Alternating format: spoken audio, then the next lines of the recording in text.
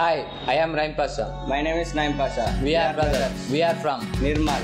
We got selected in GMR Ground Staff as a quality check department. నువ్వు ఏవియేషన్లో join కావాలన్నావు కదా ఎందుకు దానికి అంత ఇంట్రెస్ట్ ఎందుకు ఉన్నది అంత మీద నాకు చిన్నప్పటి నుంచి ఏవియేషన్లో వర్క్ చేయాలని ఒక డ్రీమ్ ఉండే. అలాగే నేను ఎప్పుడైనా పైకి చూసినప్పుడు ఫ్లైట్స్ పోతాయి కదా. అప్పుడు నేను కూడా ఆ ఫ్లైట్స్ దగ్గర నేను కూడా ఒక పని చేయాలి నేను కూడా అక్కడ ఒక జాబ్ కొట్టాలి అన్న నాకు ఒక డ్రీమ్ ఉండే. అలాగే పప్ప కూడా లోడర్గా పనిచేసేవాడు దుబాయ్లో. ఐఆర్ ఆఫీసర్స్ వాళ్ళు చెప్పారట ఇక్కడ ఏరో ఫాల్కన్స్ హైదరాబాద్లో చాలా బాగుంటుంది. అక్కడ హండ్రెడ్ పర్సెంట్ ప్లేస్మెంట్స్ ఇస్తారు. అని అంటే నాకు ఒక రోజు పప్ప నంబర్ పంపించిండు. ఆ నంబర్ వల్ల నేను కాంటాక్ట్ అయినా. ఆ- ద్వారా నేను కూడా నేను ఇక్కడికి తీసుకొచ్చిన. నువ్వు సిక్స్ మంత్స్ నుంచి ట్రైనింగ్ తీసుకున్నా నీకు సిక్స్ మంత్స్ ట్రైనింగ్ ఎలా ఉంది? ఒకటా రెండా ఎన్ని కోర్సు నేర్చుకున్నాం?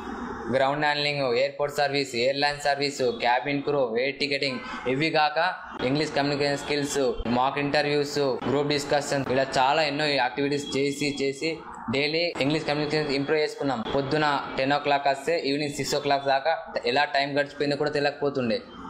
అలా ఆడుతూ పాడుతూ సిక్స్ మంత్స్ దాకా చాలా ఎన్నో నేర్చుకొని ఇప్పుడు లాస్ట్ ఫైనల్గా మనం జిఎంఆర్లో యాజ్ ఏ గ్రౌండ్ స్టాఫ్గా సెలెక్ట్ అయిపోయాం అరే ఈ జాబ్లో జాయిన్ అవ్వడానికి నువ్వు అంత కన్ఫ్యూజన్ ఎందుకు ఫీల్ అయినావు ఎందుకు కన్ఫ్యూజ్గా మా మనం గ్రౌండ్ హ్యాండ్లింగ్ నేర్చుకున్నాం. Ground హ్యాండ్లింగ్లో two types airport service airline service అని నేర్చుకుంటున్నాం.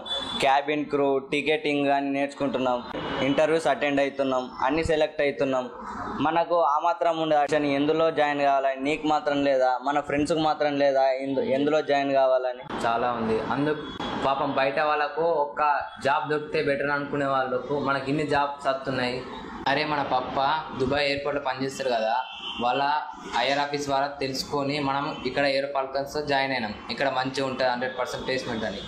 ఒకవేళ మనం పప్ప ద్వారా తెలుసుకోకుండా వేరే దాంట్లో జాయిన్ అయిన తర్వాత మన పరిస్థితి ఎలా ఉంటుండే? మన పరిస్థితి ఎలా ఉంటుందంటే మనం అక్కడ జాయిన్ అయిన తర్వాత మన టైం వేస్ట్ మనీ వేస్ట్ మనం ఎలాగో ఇక్కడ ట్రైనింగ్ తీసుకుంటామని మన ఊరు వాళ్ళందరికీ తెలుసు. ఒకవేళ ఇక్కడ జాబ్ రాకుండా మనం ఊరికి వెళ్తే వాళ్ళంతా చులకనగా చూస్తారు.